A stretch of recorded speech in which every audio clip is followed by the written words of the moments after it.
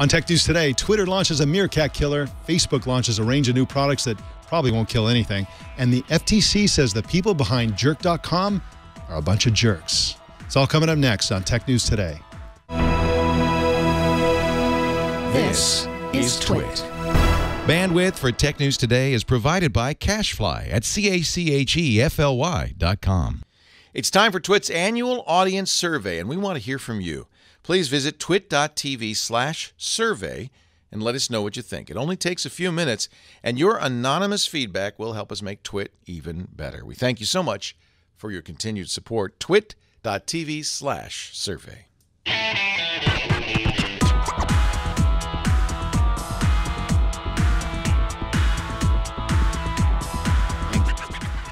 This is Tech News Today for Thursday, March 26th, 2015.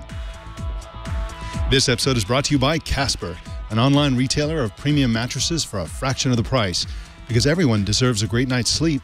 Get $50 off any mattress purchase by visiting casper.com slash TNT and entering promo code TNT. And by Shutterstock.com. With over 49 million high quality stock photos, illustrations, vectors, and video clips, Shutterstock helps you take your creative projects to the next level. For 20% off image subscription packages on your new account, go to Shutterstock.com and use offer code TNT0315. Tech News Today is the show where we talk about the tech news with the journalists who report it. My name is Mike Elgan. Welcome to the show. Joining me as co-anchor today is Ars Technica Senior Reviews Editor Lee Hutchinson. How you doing, Lee? I'm doing great, Mike. How are you guys doing? We are doing great. I'm doing great. Jason's doing great. I don't know about Carly.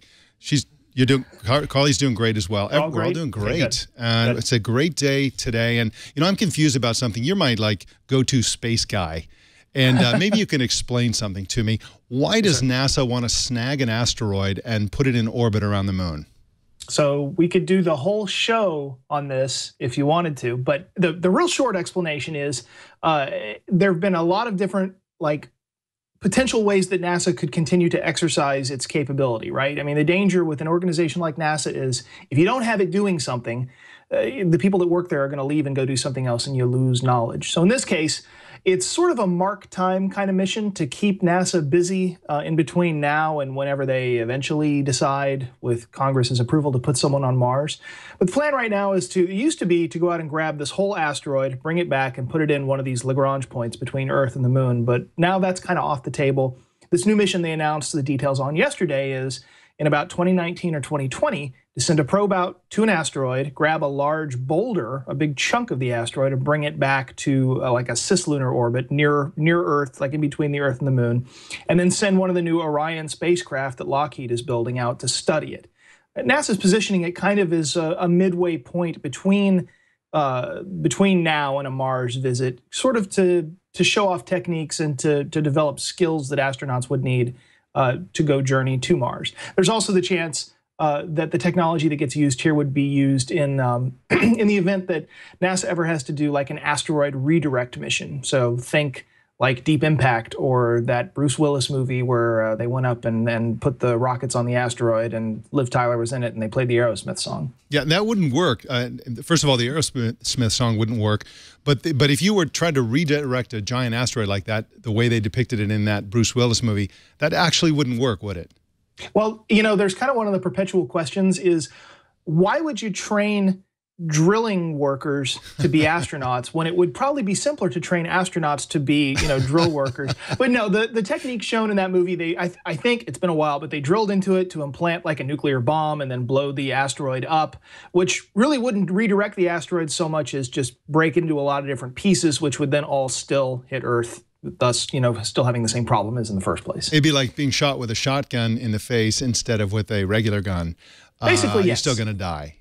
Yeah, right. it's it's not gonna it's not gonna work out now. All right. Well, I'm glad we cleared that up. Anyway, it's, it's a fascinating uh, issue. You know, NASA wants its own asteroid, and where are you going to put it?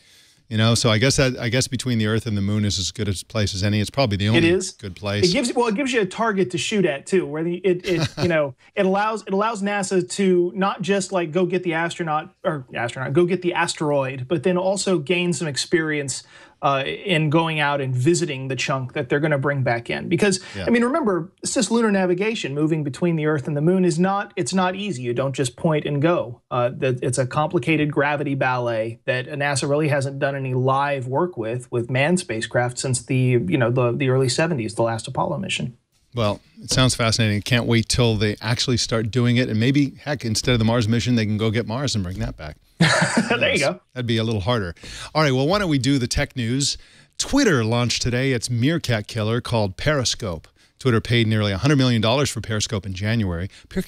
uh, Periscope is like Meerkat, but it appears to perform better with a lag time of just a second or two, at least in my informal test this morning. Also, unlike Meerkat, Periscope doesn't use Twitter replies as the message system, so it doesn't spam your Twitter feed with all kinds of cryptic messages that only made sense during the streaming video. It also, um, uh, Periscope, Periscope videos can be streamed privately or publicly, are visible for 24 hours after streams end, and can be saved to the camera roll, even though that functionality exists in Meerkat. It was really problematic and buggy and didn't really work very well for a few days after Meerkat launched. Um, uh, Lee, what do you think about Meerkat, Periscope, and all the rest? Are you into the live streaming phenomenon? You know, when I was when Meerkat first landed, which I guess was a couple of weeks ago now, uh, I went to go sign up for it because you know the my my Twitter stream is basically all tech journalists, and we all sort of like yes. it's, it's like this constant stream of inside jokes going back and forth, and everybody immediately jumped on Meerkat, mm-hmm. uh, and the popularity just skyrocketed. And what kind of scared me about it is when you go to sign up for it, you have to grant the app Twitter permissions to to interact with your account, and because of the way Twitter does its permission granularity uh, like the only way to use Meerkat is if you grant the app the ability to post tweets on your behalf, to modify your contacts list. It was like this big long list of like stuff that you have to be okay with the app doing. And being kind of conservative and kind of a weenie about my tech permissions, I was like, no, I don't know if I want to get involved in that. Plus, I mean, do you guys really want to watch a live stream of me sitting here in my underpants, like doing tech news all day long? Because you know, because we don't have an office. I'm home office here, so you know, it'd be like really just me like drinking coffee and typing for like 12 hours straight. In my experience, people want to see that. So I, have been I, have been using Meerkat every day, doing exactly that uh, until in your, recently. In your boxers, Mike? You wearing well, boxers? No, not exactly, not exactly. Um, but still, I mean, maybe that would have helped. Uh, maybe it would have hurt. Who knows? Uh, but I, I, essentially did that this morning with Periscope, and um, it's a different ball. You know, it's it's a uh, Periscope seems to me to be a better version of Meerkat. Uh, whether you know, like you say, uh, anybody wants to see this. I mean, um, you know, this is what the Wall Street Journal uh, said um, about. This is the fundamental problem with Meerkat and Periscope is that our lives are kind of boring, most of us, and uh, and who wants to see that kind of stuff? Now, of course, uh, as with Meerkat, Periscope is iOS only for now, much to the chagrin of the Android community. And also, um, Meerkat announced, this is related news, uh, $14 million in additional funding. It's not a lot of funding. They probably need a lot more if they're going to keep being popular, which they probably won't be now that Periscope is here. My feeling is that uh, Meerkat will be uh, forgotten about now that uh, Twitter has uh, uh, Periscope up and running. More news in a sec, but first let's talk about getting a good night's sleep with a Casper mattress. These are fantastic mattresses. You really have to get yourself one. And if you're not really sure if you would uh, like it, you know, I mean, it's kind of a personal thing. You know, people uh, are picky about uh, the comfort of their beds. You know, give it a try. You can actually sleep on it for 100 nights uh, before deciding whether you want to send it back or not. And I, I'm pretty sure you won't because these things are super, super comfortable. They use both latex and memory foam technologies together for a mattress that's like super soft and also uh, plenty uh, firm as well. Uh, it provides long-lasting comfort and support. Um, I've been uh, sleeping on one and sleeping like a baby, and it's just fantastic. Uh, you're going to love it. And of course, if you're going to buy a mattress in a showroom or something like that, you can't tell. You know, people think they can. So all you can do is lay down and go, I guess that's okay.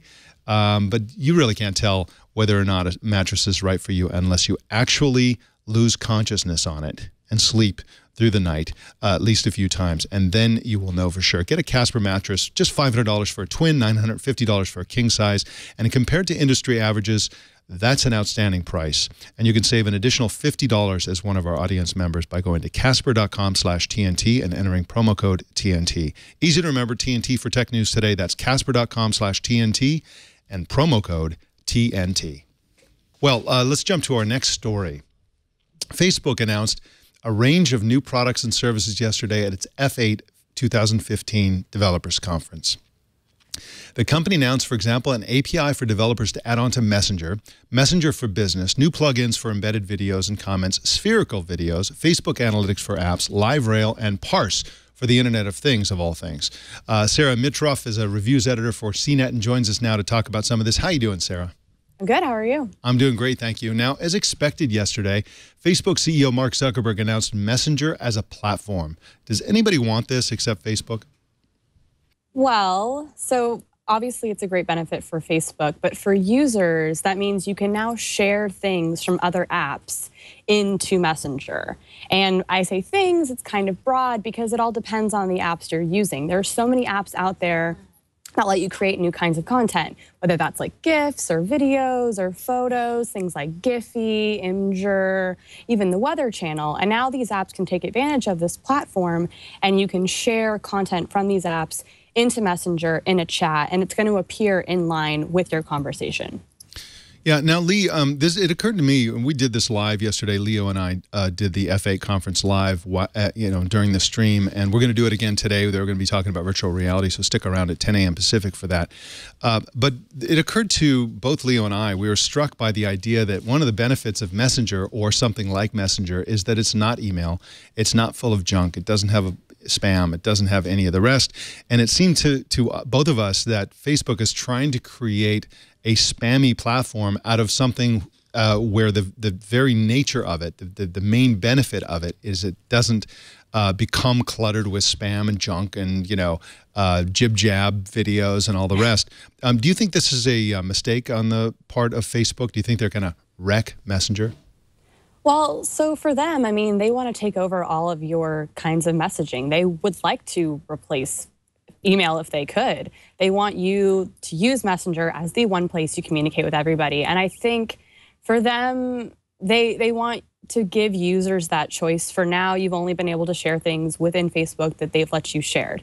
You know, that's stickers, that's photos, that's video, that's anything that you can create using that app and then you can share it out. And they just want to allow more people to share more kinds of content and then thus, you know, giving them an alternative to every other kind of messenger platform out there. That said, you're right. It could become very spammy when people are sending you messages with GIFs or videos or whatnot, and it's cluttering up your message system. I mean, you can reply in line with those kinds of messages, but if you don't want to, they're they could just very well clutter up your conversation if you don't want them there. Sarah, I've got a question for you. What do you think yesterday's set of announcements says, uh, if it's possible to extrapolate about Facebook's direction? Like, what, from an overall kind of 50,000 foot view, what does the, the stuff that they've most recently announced and all this platform stuff say about what you think they're going to be wanting to do in, you know, five years out, 10 years out? Right. I mean, they definitely see that their competition, that other apps that allow you to send messages, WhatsApp, it, all those really popular apps that let you plug in all different kinds of content. They see that that's out there. They see that there's the pressure to be like those other apps that are wildly popular overseas, wildly popular, growing everywhere. Um, and so I think they just want to make sure that they're not missing any of those markets. They want to make sure that they're not missing anyone who wants to communicate with anybody else. And, you know, we've already known Facebook has wanted to be everything. They want to be the place that you connect with your fans and family, that you get your news, that you shop, that you do anything. And so I feel like these announcements are just furthering that agenda that they've had in place for a really long time.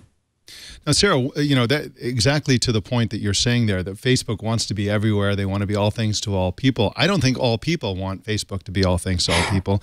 Um, some of these things, of course, make perfect sense. For example, you know, adding spherical video YouTube has had that for a while. Uh, the, you know, the virtual reality world is coming, and of course, Facebook is going to be a major player in that with uh, Oculus VR. And so, spherical video kind of makes sense to a certain extent, I guess.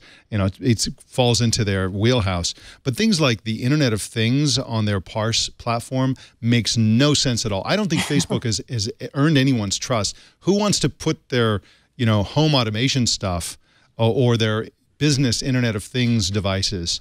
On a fa Facebook platform. I just don't see any demand for this at all. Do you? Uh, uh, am I missing something here, Sarah? No, I would agree. I, I, think in a lot of ways that they're trying to throw everything at the wall and see what sticks. They see that every other company out there is doing VR, is doing Internet of Things, is doing all of this stuff. And, you know, I think on a lot of levels, they're trying to compete with so many different companies. They're trying to compete with the Samsungs and the Apples and all these hardware manufacturers, but also with like Twitter and all these social networks. I mean, they're just trying to be every single thing that they can be to every single person. And you're right, I don't think there's a huge demand for these these more niche types of technology that a lot of people just haven't even experienced yet, aren't interested in yet. And if you think about Facebook, I mean, my mom's on Facebook, my grandmother is on Facebook. Like, it's the general population who's still a little bit wary or completely just not aware that this technology is there. And so I think they're way ahead of their time. Or they're trying to do this and it, it's probably not going to last for very long. I can't imagine that they're going to make waves with parse and these spherical videos. I also think that Facebook is a little bit delusional. Everybody uses Facebook. They have unbelievable engagement. They have all kinds of users, probably more, more users than any uh, company outside of China. And yeah, well, uh, even outside of China. They, they're just enormous. And I suspect that they think it's because people like Facebook. And I don't know anybody who likes Facebook. Everybody likes the people that they like who are on Facebook. Everyone's on Facebook. So I like my mother. I like I like all these people. That's why I go to Facebook um, because that's where the people are. But I don't think anytime you extend some functionality that doesn't involve the social graph, as Mark Zuckerberg calls it, there's no demand for it, as far as I can tell. Uh, Sarah Mitroff is at cnet.com, and you can follow her on Twitter at Sarah Mitroff. Thank you so much for joining us today, Sarah. Thank you. Apple is introducing a trade-in program for iPhones in China, according to Bloomberg. Buyers will be able to turn in old iPhones in Chinese Apple stores for store credit, plus Foxconn's uh, which is Apple's contract manufacturer there in China. It's a Taiwan company, but they do most of the manufacturing in China. Will also buy iPhones directly, then sell them as part of the Apple program through its e-commerce sites, eFeihu and FLNet, and also through the Taobao online store.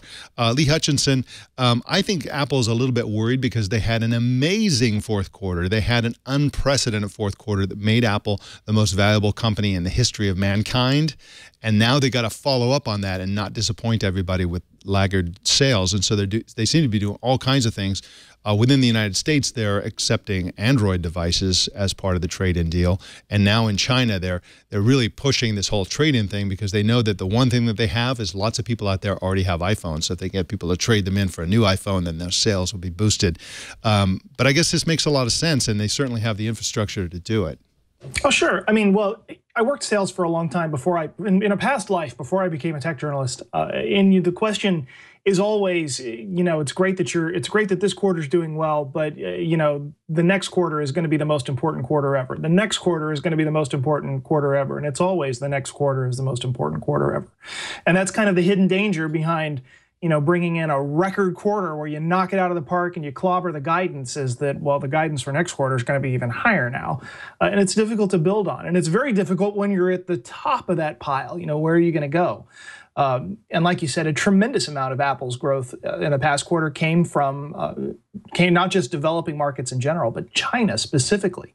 Um, but you know, there's there's kind of another side to this to this buyback program too, and that's kind of the e-waste recycling side of it. And I know yeah. that's just an absolute enormous issue, especially in kind of those same developing markets that that that Apple is building sort of its massive new profits on. Um, and I, I'm not like as completely familiar with the matter as you are here did they say that there's going to be like as when they when they're doing this buyback program and they're taking back in these you know tremendous amounts of handsets uh, are they are they then recycling them and like putting them back into you know a responsible like way of of of you know dealing with the silicon waste and everything my, my belief is that they're only buying ones that they believe they can sell as whole ah, phones. Okay. And then they're they're you know refurbing them probably to the minimum amount, probably you know battery replacement or something like that. But mm -hmm. that, but uh, but I'm not certain about that. I mean, the ideal thing would be for there to be a price, no matter what condition it's in, and if it's in a horrible condition, you know, buy it at a low price and recycle it or do something like that. But um, but no, I think this is for resale, and you know that's going to okay, cause yeah. them another problem down the road too, because they're going to get you know if they really have a compelling offering and they're selling used phones, then there are lots of people who won't be buying new phones, presumably.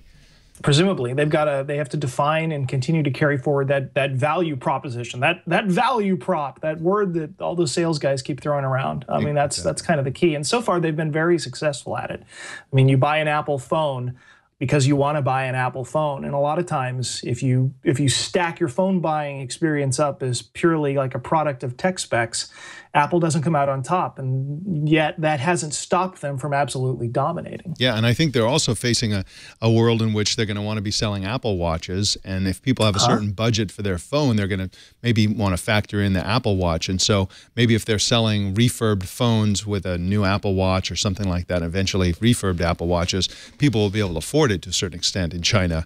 Um, but that's, you know, already people in China spend uh, several times more of, you know, as a function of the percentage of their income on phones and gadgets than they do yeah. in the U.S. and elsewhere. So um, it's going to be an uphill battle for them to sell Apple Watches, which again require iPhones. So you got to buy both. Well, do you do you have your uh, your seventeen thousand dollar rose gold Apple Watch on order, Mike?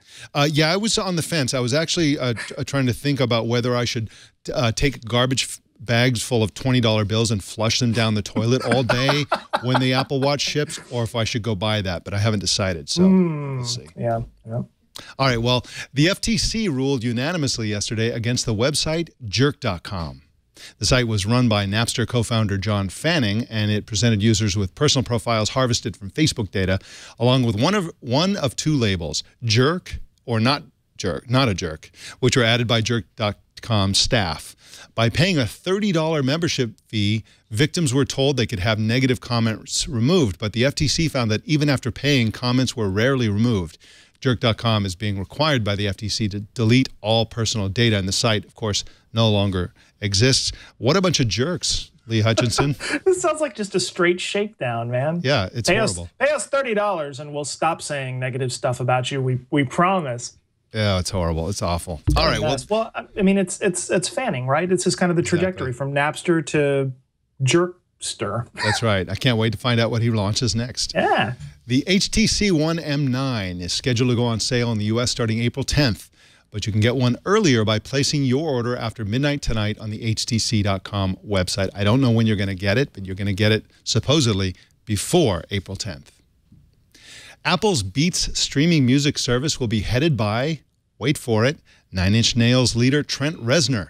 According to the New York Times, the Beats music service may include aspects of the Beats music app, including curated playlists, and Reznor's title is Chief Creative Officer for Beats. Boy, Apple's hiring uh, people from Hollywood.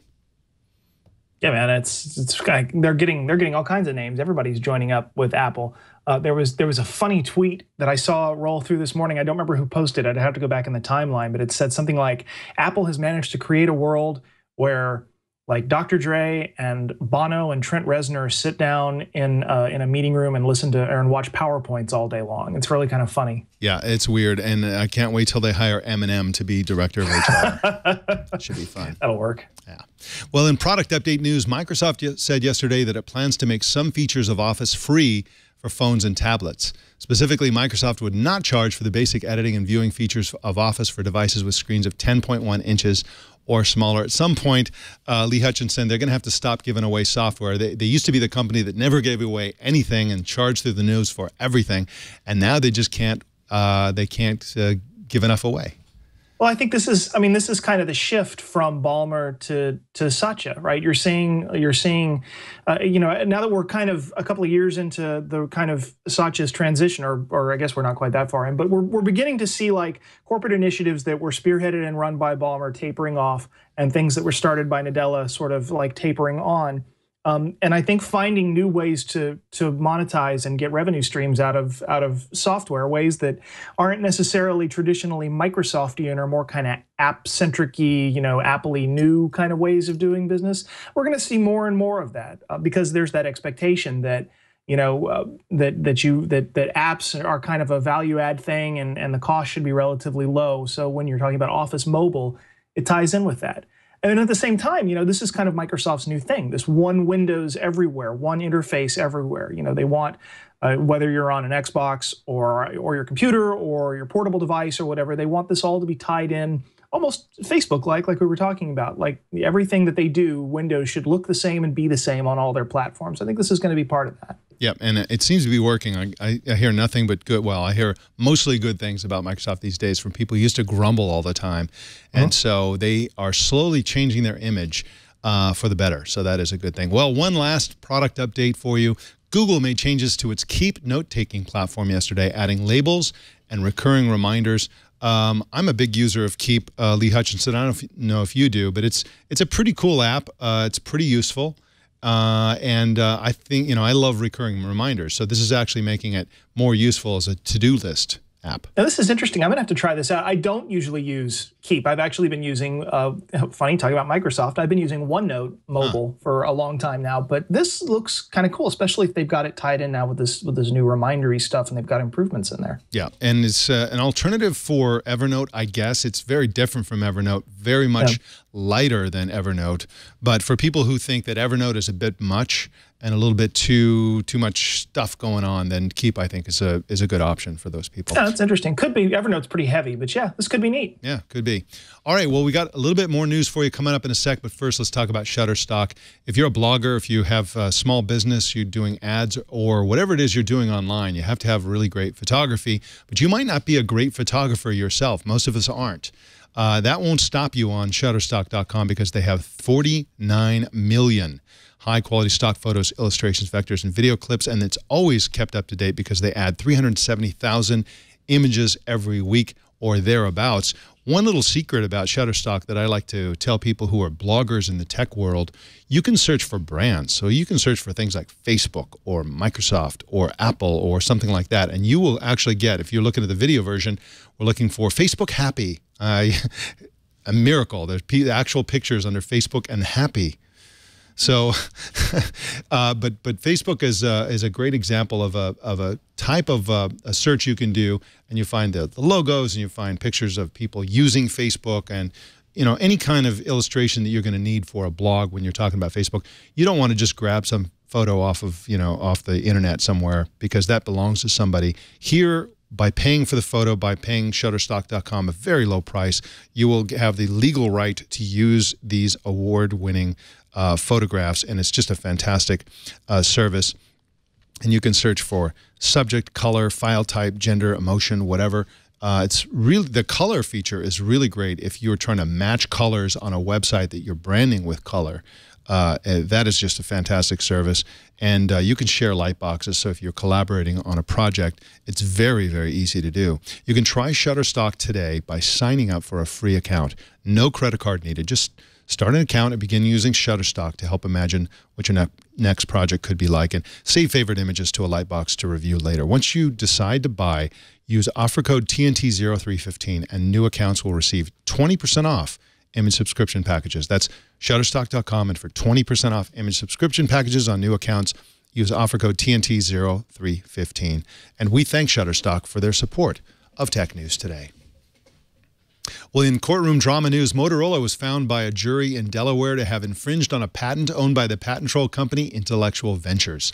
The patent is related to a multimedia to multimedia messaging. A second patent in the case was found to be invalid. So there you go. Uh, you know, uh, Lee Hutchinson, uh, patent trolling a, a, pays apparently, especially if you're intellectual ventures. This is one of the more successful patent trolls out there. Yeah, I was going to say intellectual ventures is kind of the dictionary definition of a non-practicing entity, or whatever the polite word is these days for for patent troll. They're uh, they they just don't do a lot, and they've been around for quite some time. Uh, and if I'm remembering right, they actually had kind of a, a layoff round last year.